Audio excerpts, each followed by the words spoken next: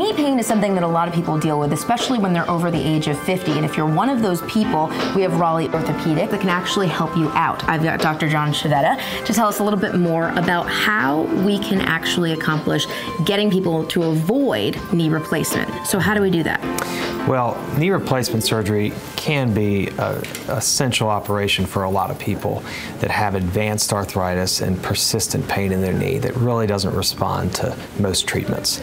But there's a few things that folks can do early on to kind of help prevent them from having a knee replacement operation. And probably the main thing that can help avoid knee replacement surgery is weight control.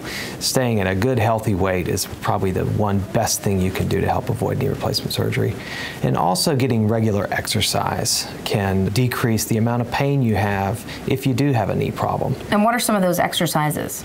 Some of the exercises that are best tolerated by folks who do have some knee issues would be low impact exercises like walking or bicycling or swimming or using an elliptical trainer. We offer a lot of different types of exercises here.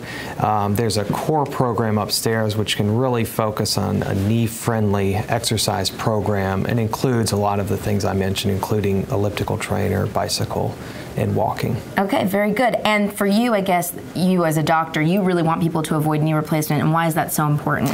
Well, it's best to avoid it because it's an invasive surgical procedure. It generally does very well, and most people who have it do really well and are happy with the results. But it's something that would be best avoided because there are some risks involved with it too, and not everybody does great after knee replacement surgery. Good stuff. Well, thank you so much for the information. And if you're somebody out there suffering from that knee pain, not to worry, you can go to RaleighOrtho.com for more information.